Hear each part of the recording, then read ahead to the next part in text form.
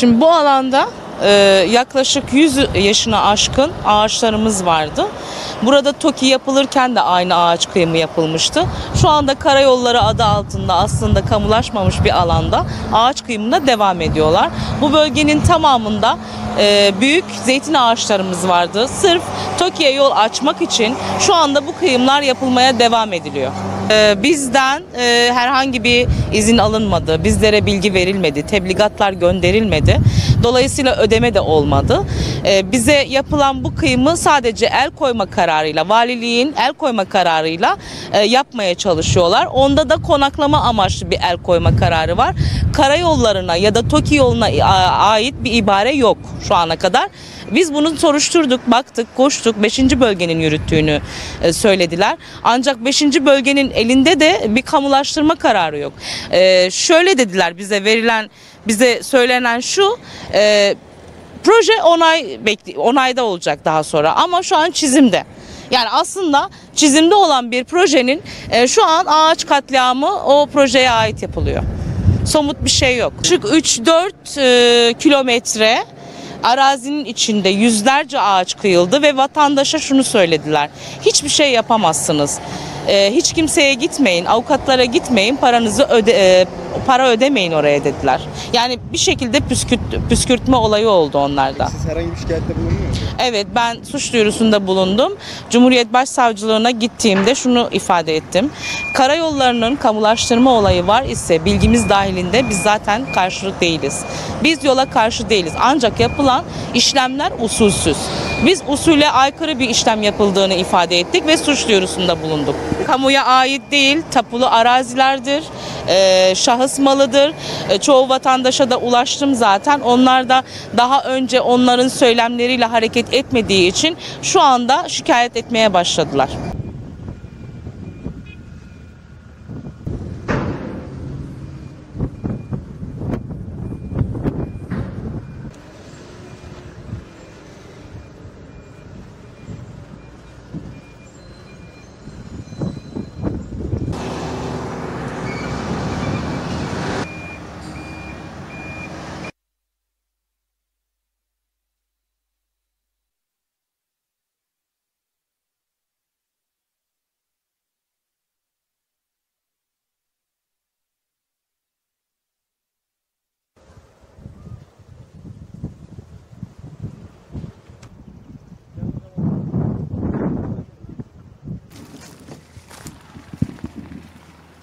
Çiğdem Arslan, Çekmece Mahallesi'nde oturuyorum. Ballıöz'de iki tane arazim vardı. Bir buçuk dönüm ve bir dönüm e, 67 metre şeklindeydi.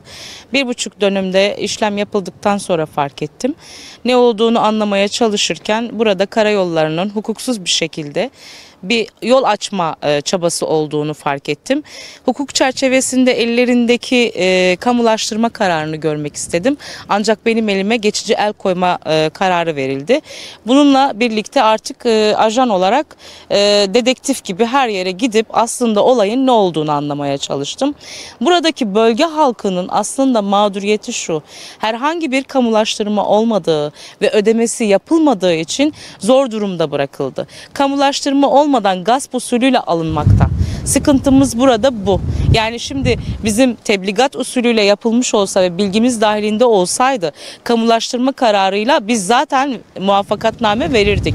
Ama herhangi bir tebligat yok, muvaffakat yok Ee, ya da işte vatandaşın alacağı ücret belli değil, değer tespit belli değil.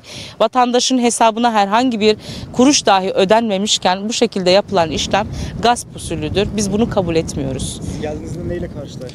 Ağaç kıyımlarını bitirmiş vaziyette gördüm ben. Ee, Benim alanımda sadece 8 tane ağacım kalmıştı ve ben buna müsaade etmeyeceğimi defalarca söyledim. Ee, 15 gündür alandayım ve 15 gündür buraya her, her geldiklerinde polisi de arıyorum. Ancak polis bize gelirken geç kalıyor. Onlara gelirken 5 dakikada alanda oluyor. Bizlerin en büyük sıkıntısı yasal olmayan işler. Biz kamulaştırmaya karşı değiliz. Bizler haklarımız ödendikten sonra ve kamulaştırma olduktan sonra muvaffakat vereceğiz zaten. Ben Hasan Özçelik. Burası Hatay Defne. Balyoz Mahallesi'ne ait bir yerdir. Bizim burada yaklaşık olarak 6 dönümlük bir arazimiz mevcuttur. Burada yaklaşık olarak 150 adet ağacımızı, zeytin ağacımızı çıkardılar ve hiçbir şekilde bir belge veya bir bildirim ya da herhangi bir tebligat veren bir, hiçbir şekilde bir şey göndermediler. Onun dışında biz burada kameralarla ağaçları pardon eee, şeyleri kepçeyle ekskavatörleri çektiğimiz zaman ise direkt ke- kepçeden inip köşelerde bir yerlerde saklanıyorlar. Diyorum ki sizin resmi belgeniz, bir yetkiniz var mı diye dile getirdiğim zaman ise yok kendileri ilgilenecek sizinle deyip kaçıyorlar. Başka hiçbir şekilde yok. Biz şu anda sistem ettiğimizden dolayı burada bulunduğumuzdan dolayı kepçeler burada çalışmıyor. Ama sistem edemediğimiz yerlerde hala çalışmaya devam ediyorlar. Buradaki mağduriyetimizi dile getirmeye dile getirmeye çalıştığımız süre boyunca ise bizi sürekli bir psikolojik olarak böyle yanıltmaya, mağdur etmeye çalışıyorlar. Yok ilgileneceğiz, yok yapacağız. Ama ortada hiçbir şekilde bir destek ya da bir yatırım ya da pardon paramızı ödeme gibi, hakkımızı verme gibi bir şey de bulunmuyor. Peki ne kadarlık bir zararınız var? Kaç kaç aile buradan mağdur? Yani şu anda yaklaşık olarak 10 aile bizim olarak bakacağımız zaman 10 aile mağdur kalıyor. Sebebi şu çünkü zeytin ağaçlarını biliyorsunuz çok şükür verim veriyorlar. Hatta biliyorsunuz ki bir ay sonra zeytin ağaçlarımızın verimini alacağız. Allah izin verseydi, Allah izin ve Allah'ın izniyleydi. Ama gördüğünüz gibi aldılar. Bizim elimizden hiçbir şekilde bir şey gelmedi. Buradaki mağduriyetimizi dile getirmeye çalıştığımızda ise sürekli bir susturmaya çalışılıyoruz. Normalde biz zeytinliklerimizi hasatını yaparız. Ondan sonra zeytinyağını satarız. Bizim geçimimiz budur normalde. Şu anda da bunu bizim elimizden aldığı hiçbir şekilde artık çalışabileceğimiz bir ortam veya bir iş imkanı da sağlanamıyor. Şimdi şöyle bir şey de dile getirmek istiyorum. Ben kendi tarlamdan bir zeytin ağacı çıkarmaya kalksam yasal işlem uygulanır bana.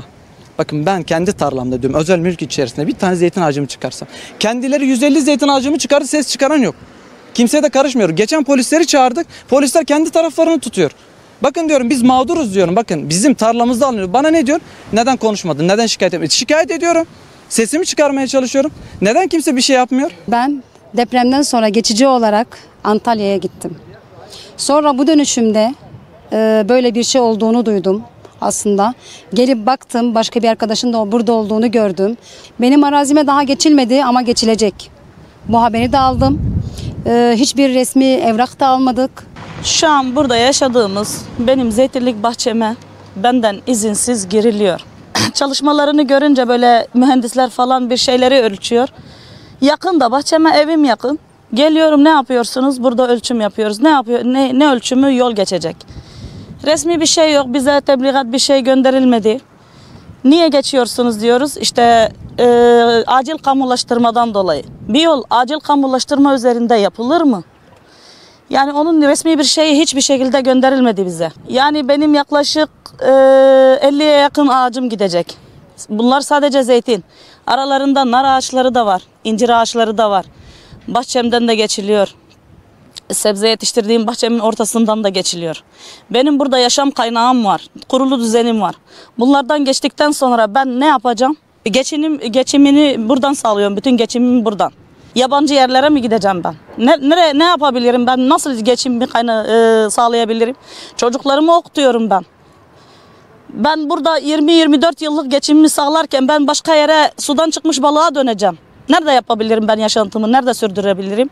Onların hesabını versin bana. Bana bir kurulu düzen versin aynı şekilde. Ben buradan geçimimi sağlıyorum. İki tane çocuğumun e, e, geleceğini ben buradan sağlıyordum. Yıllarca ben burada çalışıyorum. Çocuğumu bir, bir kuruşa muhtaç ettirmedim. Kendi em- emeğimle çalıştı, e, okutuyorum çocuklarımı. Yani devlet bana tamam belki hakkımı verecektir ama yani benim bu kurulu düzenimi nasıl sağlayacak? Bir yıl sürecek o para bende. Burada benim 25 ağacım e, söküldü burada. Yani e, mani oldum. Dediler ki yani e, bir şey konuşma dediler. Ama senin payın fazlasıyla ödenecek. Ama ne ödendi ne biliyoruz ne zaman verilecek ne verilecek ne verilmeyecek. Hiç kimse bil- bil- bilmiyor bunu dediler. Yani bu yolu açacağız yani. Yani e, yani ne konuşursanız yapın bu yol açılacak yani. Biz de artık sesimizi çıkarmadık. Öylece kaldık ve bizim ağaçlarımız söküldü hepsi asırlık ağaçlarımız. E, tabii zeytinlerden, e, çiftçilikte, e, hani benim mesleğim çiftçi yani. E, yani gel, gelirimi buradan çıkarıyorum ben mesela. Yani e, Ekim'de mesela bu zeytinler toplanıyor. Hepsi kıyıldı mesela bu ağaçlar. Dedemden kalma, dedemin dedesinden kalma ağaçlar. Yani hepsi e, telef oldu gitti yani yazık.